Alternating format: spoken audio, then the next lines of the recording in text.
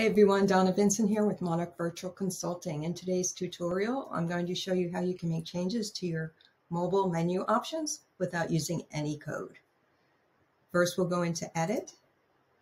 From your header, you'll be at you'll select Edit Site Header, and you will see the global, desktop, and mobile options. We're going into mobile.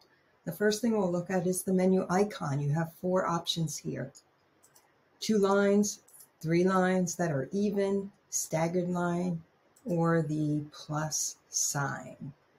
Select what works for you. You have these different options. Next, we'll go into header layout, and you have these options that you can select from. Play around with these. Select which one you prefer. I prefer my logo on the left and the icon on the right, as is what we see on most websites. Next, we'll look at the overlay menu.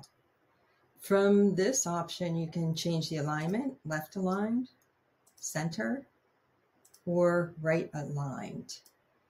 The link spacing is the spacing between your navigation links. You can decrease it by dragging or increase it up to five by dragging the menu bar. Colors.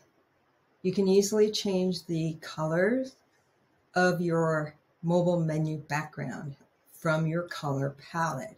So I can make any change I want to the mobile menu background. I used to code this in CSS. Now you don't have to use any coding to make these changes.